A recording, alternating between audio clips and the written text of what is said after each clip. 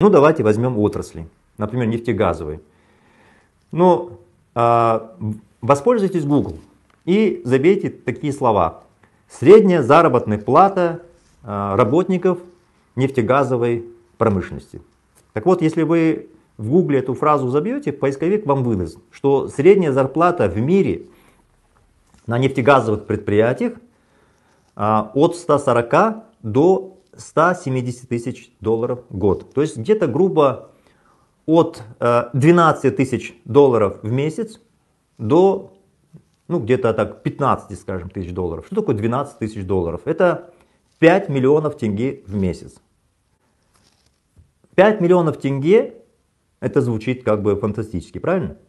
Но вы задумайтесь, наша нефть продается на экспорт по мировым ценам. То есть по тем ценам, почти а, сейчас свыше 500 долларов тонна, это приблизительно около 80 долларов за баррель.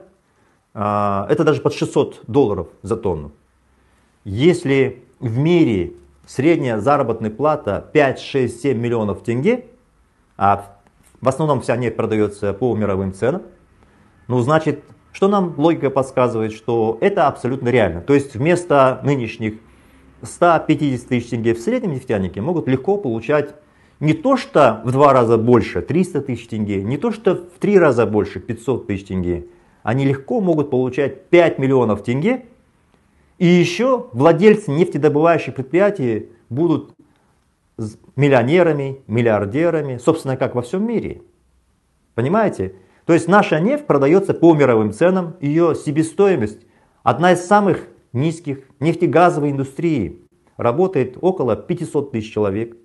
И вот представьте себе, что средняя зарплата там может быть легко 5 миллионов тенге. Звучит как фантастика, это реальность, уважаемые друзья.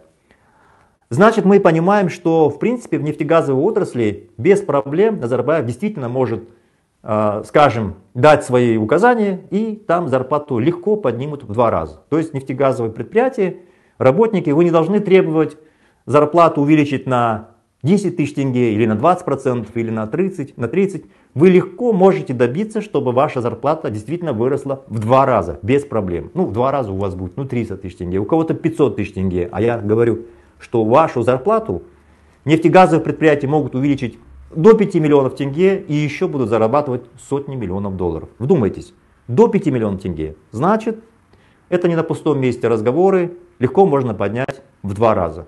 Окей, по нефтегазовой отрасли мы поняли.